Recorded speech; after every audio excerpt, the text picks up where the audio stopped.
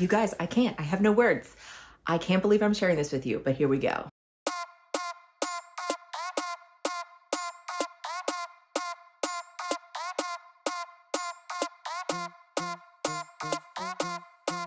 Hey guys, it's Jess from She's the Posh, and I have an update for you, something that I learned. I have some more tea slash information on Rebag. They have a new Rebag Plus, and we need to talk about it. I make videos anytime I want, so please remember to hit subscribe below, ring that bell, so we can become best friends here on the internet. Okay, guys, I don't know how my channel has turned into a channel where we just expose things. Again, this is all alleged. It's my opinion. I'm sharing stories of things people have told me. I'm sharing things that I found on the internet that is open to everybody. I'm gonna make my own opinion, you make your own opinion, and let's get to it. So I kind of want to give you a background of what kind of started this whole thing is someone had sent me a program that Rebag had just started. It's called Rebag Plus. What is it, you ask? I don't really know either. So I looked at it, it looked like some kind of membership. It's kind of vague, but what they're saying is you have to put at least $50 a month. You could do more or less. And basically that's gonna get turned into Rebag credit. So you do 50, you do Rebag credit, and they're gonna give you an extra 2% on that. And then they say plus other bonuses and perks. They don't really explain what those are. Are you gonna get added discounts and stuff like that? They did used to have a tiered system for their diamond members, but they've lost a lot of us diamond members because a lot of people they've been screwing over, treating us terribly. They've lost a lot of us diamond members. So you put that $50 in the month and it'll become $51, right? So that's the thing. It's like this money is going to build up, you're going to save. So it kind of seems like they're trying to do like a handbag banking where they're to put this into Rebag credit in your Rebag wallet for you. I don't understand who would be interested in this except for someone that is trying to save up. However, you can get a lot more than 2% or 5%, even if they change it to something more from stocks, from a money market, from online banking. So I don't really see the value of this program, being very vague with the other benefits you're gonna get. So of course I don't recommend it. So what I decided to do is I was gonna just look at the terms because I thought, okay, they've got, we gotta read these terms. I gotta give the people information. So if someone sees this Rebag Plus, maybe they do their own research because you really should look into the terms of a business to kind of see what the fine print is so you can figure out what's going on. And I used to really beat myself up about the terms when those had changed, but I didn't realize that they no longer insured their bags. I didn't realize that I was really putting my items at risk when I sent. And if you're not sure about that story, check the playlist. So let's get into the first thing of tea, and then I have an update on Nala, what she's going through right now it's, it's crazy. What that prompted me to do was to look at the terms and conditions. One of the things in the terms and conditions, it says that anytime you use their services, anytime like you send a bag, be looked at for a quote, you send something in for a trade, you purchase anything, you're basically using their service that you're agreeing to terms and conditions, whether they've updated or not. They're not gonna send you the terms and anytime through email. I don't think they legally have to. I'm not quite sure how that works. They should send you stuff when things have changed, but they don't have to. And again, they have the terms on their website, but they say it is your responsibility to look at that. And we all know that I've been looking at those terms. I've seen them change several times. So far, I've noticed they've changed since I've been having this drama since September. They've at least changed three times. That's also because they added a few new programs, consignment feature, and now they recently added this Rebag Plus, and then they made some changes to risk of loss. They added that part where the risk of loss of packaging. So if they send something back to you, say you send your Chanel bag with the cards, original box and receipts and all that stuff, and they say they don't want it or they, you know, they send it back to you because they refuse the trade, they don't owe you any of that stuff back. You might get your dust bag back, you might not. They added that part. So I've noticed those three just right off the bat as I was looking. And then again, I looked at that part like, yeah, they said that we need to check these terms. They also in that part says the date and the terms are changed will be located at the bottom. So I was curious. I'm like, oh, I wonder when this this changed last. They added this Rebag Plus. They just added all of that to it. So I scrolled to the bottom of the page and I saw the date. And the date says that these terms have not been updated since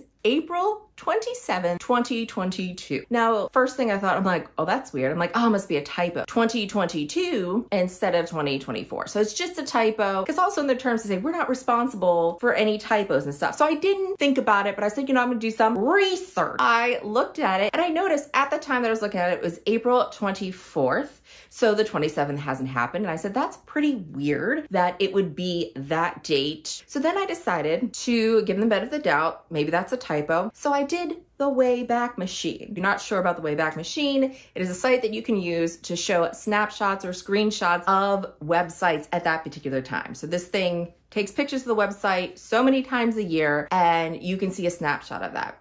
So I put it in the Wayback Machine and what was lucky is that there was a snapshot taken April 26th, 2022, and there has been several ones after that. So I decided, let's see what the date was then. So I looked and the date it was last updated was in November on April 26, 2022. I said, oh, so maybe they actually did update the terms in April 27, 2022, because again, that was the future when I was looking at it. So then I looked at the next available date. I believe it was June or October of 2022. And sure enough, we get the same date. Then I started looking at all the other terms and they're all the same date. They have never updated the date at the bottom. So this got me thinking, this is so, if this isn't illegal, this is very deceitful. So if I am responsible for reading the terms, how would I know that the terms have changed based on that date? Put the links down below so you can check for it yourself. So when I looked at the Wayback Machine, a lot of stuff has changed. There's whole section that was removed since that time. There's all these added sections. The wallet section didn't exist. So I started looking at major changes. I'm not talking punctuation. I'm not talking a little bit of words, like they added that one sentence at the bottom. I'm talking eight.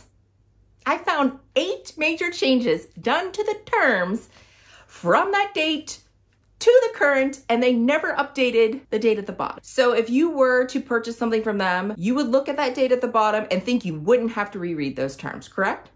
If I was doing my due diligence, I read those and I saw that they had not updated, why would I reread?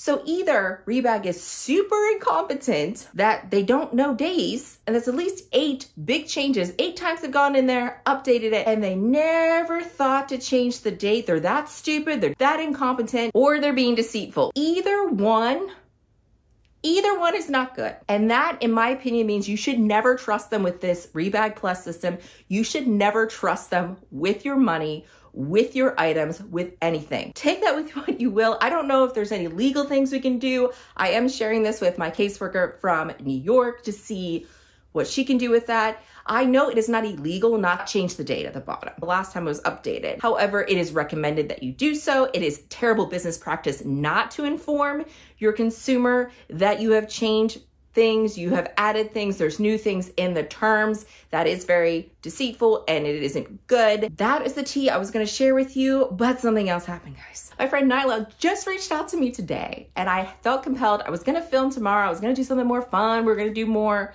handbag stuff, but I had to let you guys know this.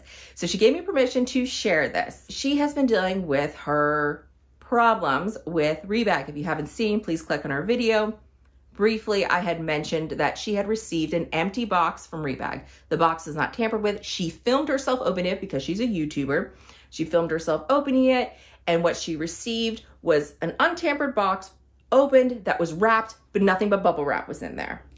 I gave you my theory that the bag was lost and maybe a Rebag employee was worried about getting in trouble because they didn't have the merchandise, that they wrapped up and sent an empty one because they knew based on how Rebag does things that they will never believe the customer and they will believe that the customer tried to steal it. I've seen different comments like this on Glassdoor, which is a platform where people can do reviews on working for Rebag. Basically, in the opinion of some Glassdoor reviewers that Rebag doesn't trust their customers and also they think negatively of their employees and they're disposable.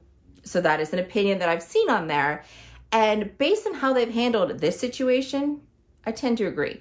So in her video, she talks about how her situation was. Rebag has refused to give her her money back and they also refused to return the bag that she had sent as a trade. They have since sold that bag. She is out about $500 to $600 in the trade amount that she was promised. However, she had a video of it. She shared it with her bank and her bank disputed the charge. Rebag no longer has her money. The money has been taken away from them due to her bank, due to the proof that she showed them. All first happened and she was having such a hard time reaching out to them. She did the Better Business Bureau. And I've told you guys before that the Better Business Bureau is kind of like glorified review. They try to be a mediator. However, they aren't like a government entity. They aren't someone that's going to prosecute or do anything on your behalf. They just try to mediate. So she had reached out to that because she also wanted that to be out there because the Better Business posts are public. Anybody can see the business response and her response. Obviously, they redact the names. They redact some of the companies. Like, for example, if she's talking about FedEx, they redact that. They did that with my post that I had originally put on there and they don't have the name, so it's anonymous, but you can kind of see the business response. So she had posted on there and she got the response to that Better Business Bureau post where basically threaten her and say that they have the proof that they sent the bag and they are going to go after her bank because she told them that she disputed it and she got the money back from her bank. So they are on this post, not not reaching out to her personally because she's a diamond member, not calling her on the phone, not emailing her personally, on this post that everyone sees, they're trying to villainize her and make her seem like she's the bad guy because everybody's going to see this post, right?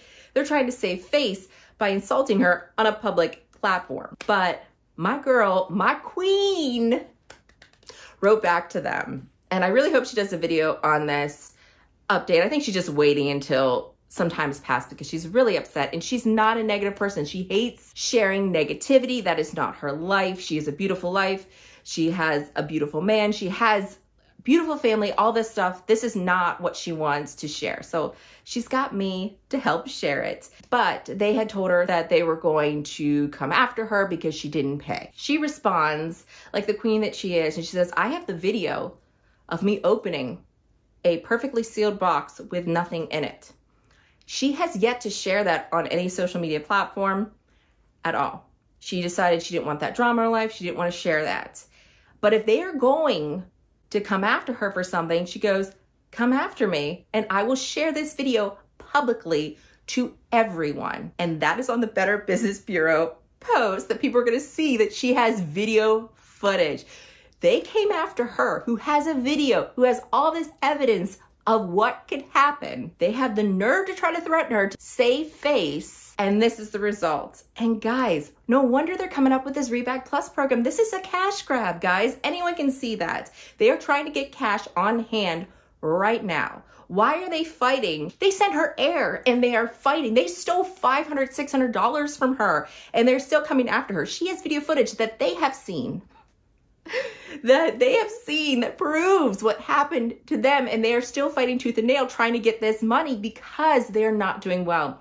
Do not do the Rebag Plus. When your money becomes credit, you can never convert that back to cash. Once Rebag goes under, they don't owe you anything. They don't owe you your bags and consignment. They should send them back. But technically, once they go under, they owe you nothing.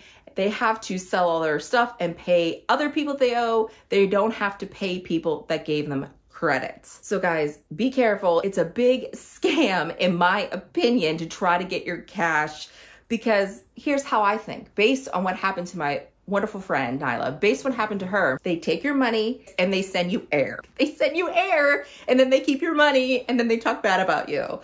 I just, I can't I have no words, guys. Like, just when you think Rebag can't get any worse, they're getting worse. So when I was looking back, I decided, I was like, Nyla, let me show you my Better Business Bureau post because hers isn't public yet. So I went, let me show you mine. And I had the post back in September of last year. That's when I posted it. It was 920 is when I first did it because I was trying to deal with them.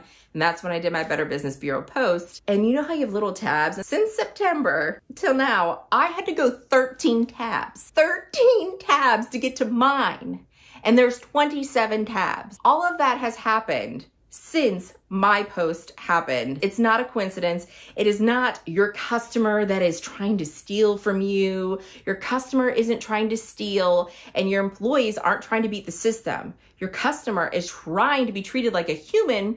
Same with your people. Like they just want to be treated like a human and treated as important and not just disposable. So guys, give me your opinion down below. What do you think's going on?